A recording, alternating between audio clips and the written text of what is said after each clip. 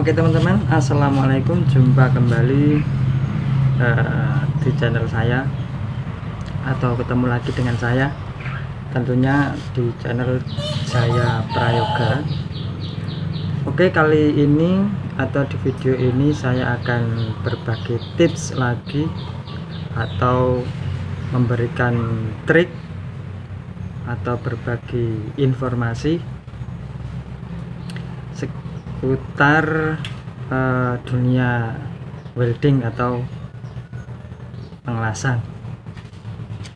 Nah di video ini saya akan berbagi tips bagaimana caranya agar mata kita tidak terasa sakit saat melakukan proses pengelasan. Dan di saat itu kita tidak memakai pengaman seperti kacamata hitam atau kaca las atau lain sebagainya.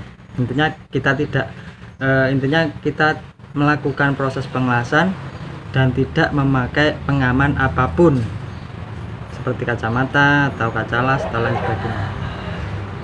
Karena memang pada dasarnya seorang welder atau seorang tukang las atau seorang pegawai uh, las itu memang dianjurkan bahkan diwajibkan untuk memakai uh, pengaman mata ya seperti kacamata hitam, kaca las, uh, sarung tangan, pokoknya banyak lah. Nah, di saat-saat tertentu tidak dipungkiri bahwa kita menemui atau bahkan berada dalam keadaan uh, sulit ya. Di mas di waktu itu kita terkadang pas waktu melakukan proses pengelasan kadang-kadang uh, sebuah kacamata itu entah pecah atau lupa naruh atau ketinggalan di rumah atau lain sebagainya. Nah di saat itu kita diwajibkan untuk melakukan proses pengelasan. Nah bagaimana caranya kita bisa melakukan proses pengelasan tersebut? Dengan tidak memakai pengaman atau dengan tidak memakai kaca las tapi mata kita tidak terasa sakit. Karena jarang banget eh, bahkan seorang welder senior pun mungkin tidak mengetahui hal ini. Atau seorang tukang las juga belum tentu mengetahui trik seperti ini teman-teman ya. Nah kali ini saya akan membagikan triknya atau tipsnya. Bagaimana caranya kita melakukan proses pengelasan tanpa e, memakai pengaman mata tapi mata kita tidak terasa sakit Oke untuk teman-teman yang belum yang baru nonton yang baru nonton atau baru gabung silahkan subscribe dulu channel saya like juga dan tulis komentar di kolom komentar agar saya lebih bermanfaat lagi untuk uh, bikin video atau membuat video yang lebih bermanfaat lagi. Oke langsung saja teman-teman ya bagaimana triknya? Simak dan tonton terus video saya kali ini. Oke teman-teman.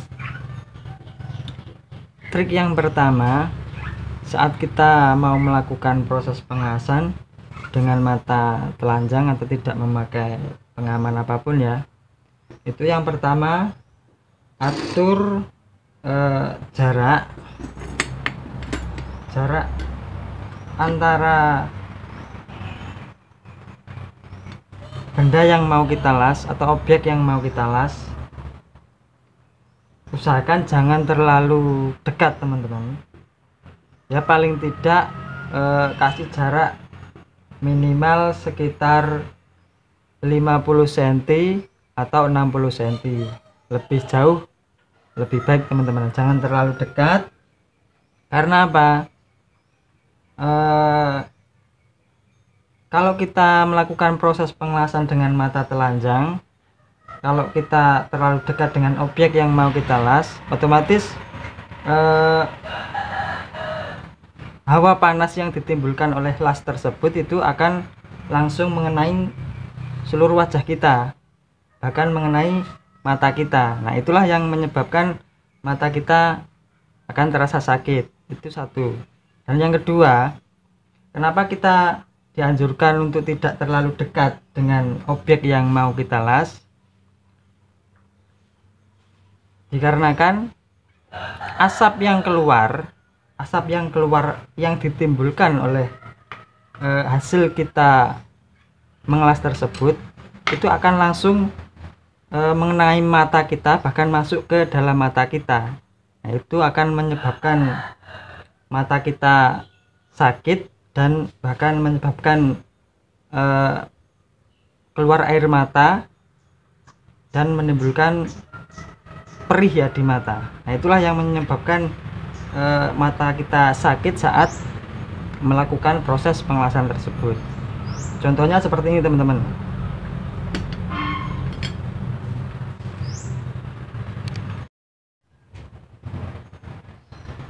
Nah contohnya seperti ini teman-teman ya. Kita harus e, mengasih jarak. Ini objek yang mau saya las atau benda yang mau saya las.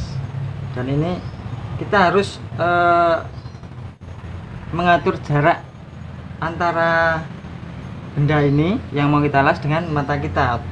Uh, minimal kasih jarak uh, 50 sampai 60 cm biar kita tidak terlalu dekat teman-teman. Jadi saya mau melakukan proses pengelasan dengan perhatikan mata saya atau perhatikan jarak saya. Ini saya tidak memakai kacamata atau pengaman apa pun teman-teman. Ya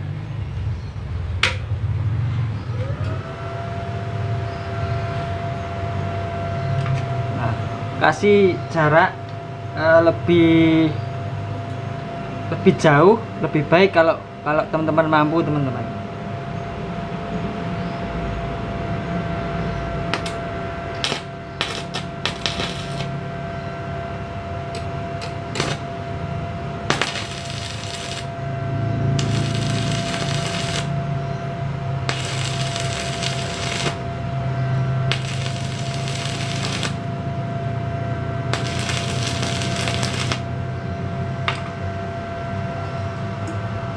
nah contohnya seperti itu teman-teman. Itu untuk trik trik yang pertama teman-teman ya. Trik yang kedua uh, trik yang kedua saat kita melakukan proses pengelasan dengan mata telanjang atau tidak memakai kacamata atau pengaman yang lain usahakan mata kita eh, jangan terlalu terbuka lebar teman-teman ya. Usahakan jangan eh, jangan terlalu terbuka lebar. Dan kalau teman-teman mampu eh, teman-teman eh, bisa eh, pejamkan mata anda atau pejamkan mata teman-teman. Atau paling tidak buka sedikit tidak apa-apa. Yang penting kita bisa melihat objek dengan seminim mungkin teman-teman. Jangan terlalu lebar-lebar. Karena eh, cahaya yang ditimbulkan oleh las tersebut itu juga bisa e, melukai mata kita atau menyebabkan mata kita e, sakit saat e, selesai melakukan proses pengelasan tersebut teman-teman. Contohnya seperti ini. Anda bisa teman-teman bisa perhatikan mata saya teman-teman ya. Perhatikan mata saya saat saya mau melakukan proses pengelasan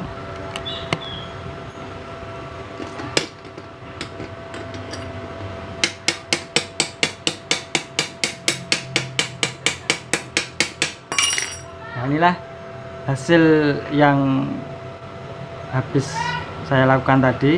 Saya melakukan proses pengelasan dengan mata telanjang tadi. Nah ini hasilnya.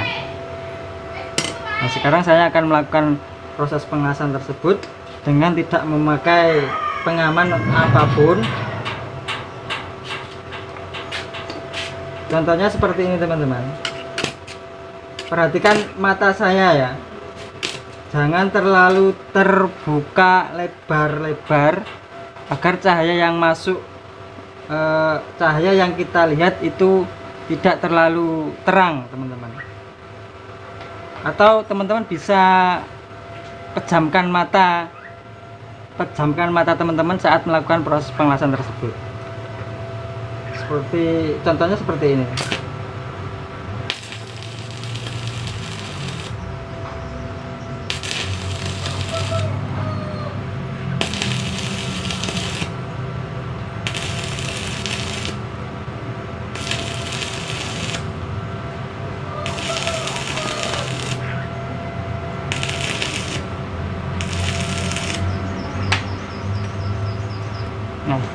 begitulah teman-teman trik yang yang kedua teman-teman ya. Jangan terlalu terbuka lebar. Kalau kalau eh, teman-teman mampu eh, pejamkan mata Anda atau pejamkan mata teman-teman saat melakukan proses pengelasan agar tidak ada cahaya yang masuk saat eh, yang terli agar tidak ada cahaya yang terlihat saat kita melakukan proses pengelasan tersebut dan yang selanjutnya teman-teman bisa membuka mata anda tapi sedikit saja untuk bisa melihat objek yang kita las tersebut.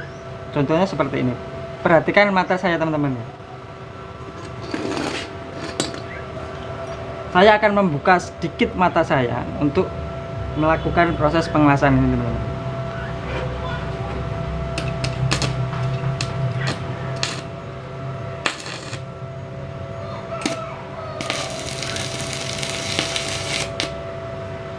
ini saya membuka sedikit teman-teman. Saya buka sedikit saja mata saya untuk bisa melihat objek yang saya las. Nah, seperti ini teman-teman. Dan ini hasilnya. Ini saya sudah melakukan atau mengerjakan proses pengelasan dengan mata telanjang. Dan insya Allah ini tidak akan membuat mata saya sakit setelah melakukan proses e, pengelasan ini. Nah anda bisa teman-teman bisa mencoba bisa mencoba di saat teman-teman berada dalam keadaan atau berada dalam situasi e, entah itu pas waktu melakukan proses pengelasan lalu kacamata hilang atau lupa naruh atau pecah atau lain sebagainya. Nah, ini triknya seperti ini teman-teman. Tapi saya sarankan memang eh, proses seperti ini tidak dianjurkan untuk eh, seorang welder atau seorang tukang las untuk dilakukan setiap hari. Ini hanya untuk waktu-waktu yang uh, terdesak atau kepepet atau waktu-waktu uh, yang istilahnya mepet lah ya. Istilahnya di saat kita lupa tidak bawa kacamata lalu kita dipaksa untuk melakukan proses pengelasan. Nah ternyata seperti ini. Oke teman-teman untuk uh, video kali ini saya kira cukup dan jangan lupa uh, tonton terus dan uh, simak terus video saya selanjutnya. Dan jangan lupa subscribe channel saya like dan komen dan tulis uh, kritik dan saran di kolom komentar uh, atau mungkin ada masukan atau komen-komen uh, yang bikin saya lebih bersemangat lagi untuk uh, bikin video-video untuk teman-teman semua agar saya lebih bersemangat lagi untuk uh, bikin video yang lebih bermanfaat. Oke saya kira cukup. Uh, saya akhiri. Assalamualaikum warahmatullahi wabarakatuh